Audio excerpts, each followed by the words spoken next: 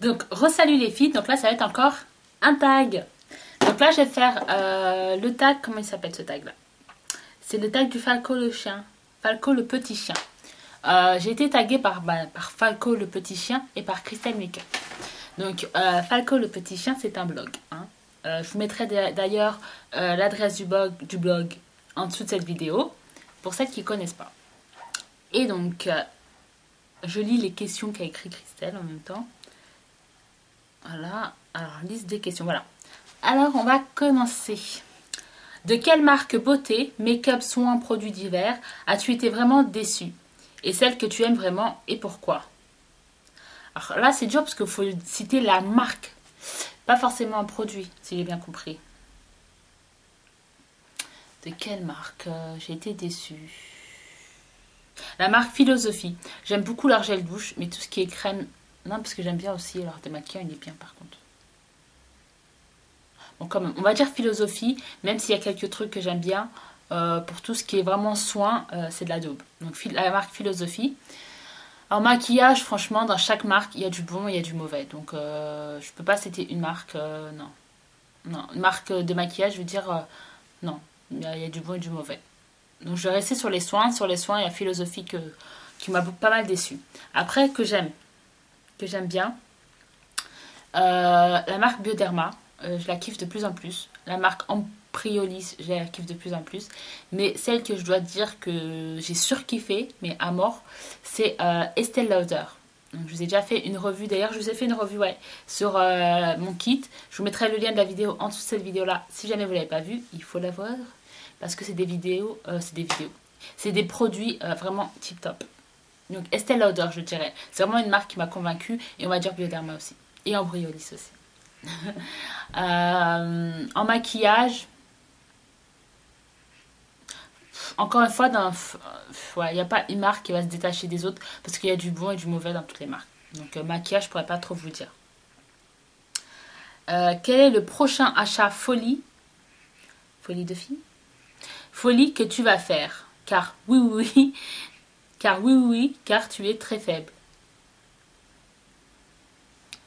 Je te, je non, je t'autorise pas à dire que je suis faible. J'ai fait un projet Ten Pen pendant 4 mois, moi. C'est-à-dire que j'ai rien acheté. Donc je ne suis pas faible. Mais oui, je vais craquer, c'est sûr. Donc le prochain achat folie, ça va être sûrement un fond de teint Chanel. Donc là, j'hésite entre le... Entre prendre le Pro Lumière et le Aqua Vita Lumière.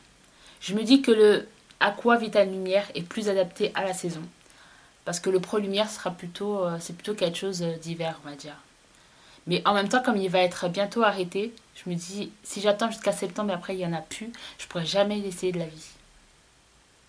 Mais je pense que ça sera. Non, ouais. Je pense que ça va être le Aqua Vital Lumière de chez Chanel. Ça va être mon prochain achat folie. Ouais, je veux dire celui-là. Ensuite, quel est le montant minimum et le maximum que tu dépenses en budget beauté par mois? Minimum, euh, minimum, ça va être quoi? Ça va être 30 euros, 20 euros, 30 euros, je sais pas. Maximum, euh, je sais pas, 1500, 2000, 10 000. Ouais, 10 000 euros. non, franchement, les budgets, faut pas me dire que ça va dépendre des mois. pendant plusieurs mois, je peux rien acheter. Genre, euh, je vais t'acheter un déodorant. voilà. Euh, non, franchement, euh, ça dépend des mois. Il y a des mois, tu n'as pas vraiment envie d'acheter ou il n'y a rien qui te fait envie. Et un mois, tu te lâches complètement. Tu veux tout. Et là, tu vas, là, tu vas dépenser beaucoup. Donc là, j'ai pas de budget fixe et moi, ça dépend. Et surtout, euh, ça dépendait aussi de combien je touche par mois. Parce que bon, je, je, vais un petit peu rentrer dans les détails, je sais pas, mais j'étais commercial avant. Donc c'est vrai que tu as des objectifs, etc. Et en fonction, tu les atteins ou pas, etc. De tes ventes, etc. etc j'ai pas un salaire fixe au fait. Voilà, j'avais des primes, donc euh, j'avais un salaire qui euh, variait en fonction. Voilà. Donc des fois, je pouvais avoir un salaire assez moyen, des fois, je pouvais avoir un, bon salaire. Euh, voilà. Donc après, ça dépendait aussi de, combien je touchais par mois. Donc ça dépend. Ça dépend. quelles sont tes boutiques fétiches dans ta ville ou à proximité? En vêtements, New Look. New Look. Je kiffe cette, cette marque. Ce magasin, il a tous les styles. Peu importe ton style, tu vas trouver. Ils font tous les styles et ils font toutes les tailles. Et ils font vraiment des trucs super. En plus, tu as les, accessoires. J'adore leurs bijoux, etc. J'adore leurs chaussures. J'adore leurs sacs. J'adore leurs vêtements. euh, je kiffe cette marque. Je kiffe ce magasin New Look. Euh, j'aime beaucoup aussi H&M. ils font des choses plus classiques, on va dire un peu plus classe, un peu plus classique. J'aime beaucoup H&M. Il y a un Forever 21 qui va bientôt ouvrir dans les Champs-Élysées. J'attends plus que ça. Je veux, si jamais, parce que je ne sais pas quand est-ce qu'il va ouvrir. Si jamais vous savez quand est-ce qu'il va ouvrir, s'il vous plaît, dites-le moi. Dites-le moi. Comme ça, là, je me prépare, je le note dans mon agenda et le jour J, j'y suis. Ensuite, euh, ça sera tout. En make-up, j'adore Sephora. Il y a tout là-bas. Sephora, MAC. Oui, parce qu'en région parisienne, nous avons des MAC à proximité. Kiko. Kiko, c'est une boutique que j'aime beaucoup aussi. Euh, c'est pas cher et ils font des bons produits. Donc voilà, donc je dirais Sephora, MAC et Kiko. Et après, non, je il y avait Lush, euh, mais c'est vrai que je ne vais pas beaucoup non plus dans les magasins Lush. C'est vrai que généralement, je, je commande sur le site anglais, donc ça fait du coup, je ne vais pas beaucoup en boutique. Donc, euh, mais sinon, une boutique aussi que j'aime beaucoup, c'est Body Shop. Body Shop, Body Shop. Donc c'est vrai que j'avais un petit peu délaissé à un moment donné, euh, parce que j'avais pas mal de produits Lush. Maintenant que je les ai pas mal finis, je suis revenue à, à Body Shop, mon premier amour. Non, euh, ouais, Body Shop, là, récemment, j'ai fait d'ailleurs euh, des achats. Mais j'ai pas fini parce qu'il me manque encore des trucs. Donc euh, j'attends un petit peu les soldes pour voir ce qu'ils vont faire. Body Shop, j'aime bien y aller aussi. Alors, quelle est là ou les principales personnes qui t'a inspiré pour faire ta chaîne ou ton blog? Personne m'a vraiment inspiré, quoi. Je veux dire... Je suis restée naturelle, je suis restée moi-même. Personne m'a vraiment inspiré. J'ai fait un petit peu comme, comme je ressentais les choses. Après, ce qui m'a... Euh, je ne sais pas comment répondre à cette question en fait. Il y a, c'est pas une, personne en particulier qui m'a vraiment inspirée, c'est un petit peu euh, la communauté euh, beauté en fait sur YouTube. C'est vrai que quand tu commences, j'ai commencé à regarder en fait ce genre de vidéos là et ça m'a pas mal plu et à un moment donné je voulais faire moi-même des vidéos. Je me suis dit pourquoi pas moi etc. Et je me suis lancée donc un petit peu. Au début j'étais un petit peu coincée du cul, hein. j'étais un petit peu je parlais un petit peu comme euh, une télé. Enfin, c'était trop bizarre quand moi je parlais. Euh, je vous invite à regarder mes premières vidéos, vous allez voir de quoi je parle. Euh, puis voilà. Puis au fur et à mesure, je me suis détendue, je me suis relaxée. puis au, fur et à mesure, tu as des abonnés, donc tu peux te représenter à qui tu parles. Au début, tu parles à ta caméra, à ton appareil photo ou je sais pas à quoi, et tu dis, putain, je suis, une, grosse folle, quoi. Je suis en train de parler à un objet, quoi. Et tu, parce que tu, comme t'as pas d'abonnés, tu visualises pas en fait les gens. Et là, plus tu as d'abonnés, plus tu parles avec eux, plus tu les visualises, donc c'est plus simple. Donc voilà. Donc moi, c'est plutôt en fait cette ambiance qu'il y avait. Euh, voilà. Je voulais en faire partie plus activement. Mais il n'y a pas une personne en particulier, c'est tout, le monde, toutes celles qui font des vidéos en, général. Ensuite, euh, si tu ne pouvais prendre qu'un produit beauté sur une île ultra déserte, que choisirais-tu? Si tu ne pouvais prendre qu'un produit beauté sur une île ultra déserte, que choisirais-tu? Bah, C'est simple, je choisirais une crème solaire. Oui, parce que il faut entretenir son bronzage. Non, une crème solaire pour éviter euh, d'avoir le cancer de la peau quand même et d'être euh, toute comme un raisin sec. Euh, je crois que c'est ce qui est le plus important. Pourquoi? De 1, tu es dans une île ultra déserte. Une île ultra déserte, tu as quoi? Tu as la plage, tu as le soleil, tu as des cocotiers, tu as tout. Donc euh, tu vas être bronzé. Tu n'as pas besoin de fond de teint, tu vas être bronzé. Quand il y a du soleil, moi j'ai pas de boutons, donc j'ai pas besoin de crème, etc. Euh, les cheveux, tu vas te baigner à la mer, donc pourquoi tu vas te prendre la tête à, à lisser ou à faire je sais pas quoi. Tu vas avoir un look un peu beachy, un peu comme j'ai là, tu vois. Bon là je ressemble à rien, mais c'est pas grave. voilà, tu vas avoir des, petites vagues et tout, trop bien. t'as des, as des cocotiers, donc l'huile de coco, tu, te les fous dans tes cheveux, ça va te les nourrir.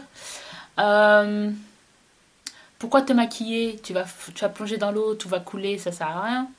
Donc ouais, donc la crème hydratante, c'est plus... La crème solaire, c'est le plus important.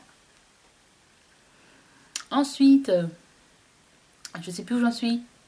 Ah ouais, quelle a été ta pire catastrophe make-up? Ma pire catastrophe make-up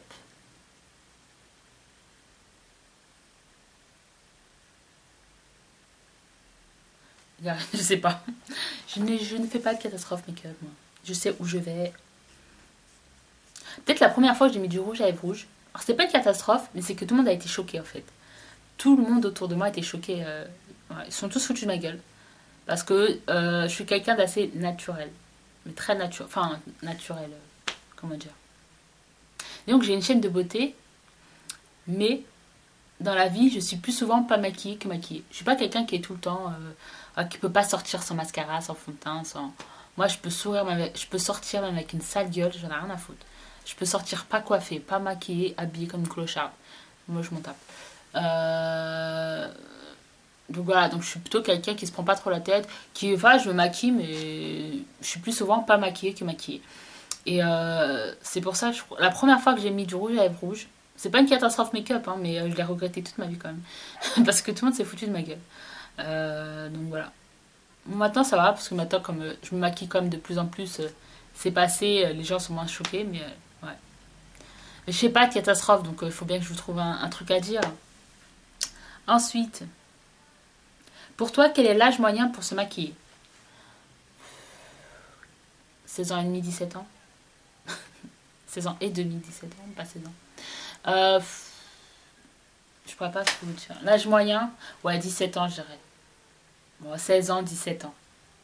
Quand j'ai maquillé à cet âge-là, euh, c'est strict minimum. Hein. Un peu de mascara, euh, un peu de gloss, un peu de blush, pourquoi pas. Voilà. Disons qu'il faut, faut y aller étape par étape. Donc à 16 et 17 ans, tu prends déjà un petit peu les bases. Et en fonction tu grandis, tu, tu intègres d'autres choses comme le fond de teint, les fards, etc. Donc j'aurai peut-être 16-17 ans. Mais bon, avec la génération d'aujourd'hui, c'est plutôt 12-13 euh, ans, malheureusement. Ensuite, quelle est la blague la plus pourrite que tu connais? Oh merde. Pourquoi j'ai pas lu le truc avant? Ah, je connais aucune blague. Quelle est la blague la plus pourrite que tu connais? La blague la plus pourrite que je connais. C'est quoi une tomate avec une cape? Super tomate. Ça, c'est Alors, euh, ça, c'était la dernière question. C'était la dernière question. Ah non, c'était pas la dernière question. La dernière question, c'est quelle a été ta pire catastrophe en matière de coupe et de couleur de cheveux? Alors, moi, j'ai tout fait avec mes cheveux, mais il y a une fois, j'aurais dû rien faire, j'aurais dû aller chez coiffeur. Euh, J'avais les cheveux super foncés et je commençais à en avoir marre je voulais euh, avoir les cheveux plus clairs, mais je voulais pas des mèches en fait. Je voulais vraiment juste éclaircir mes cheveux. Soit un marron un peu plus chocolat, un peu plus. Voilà.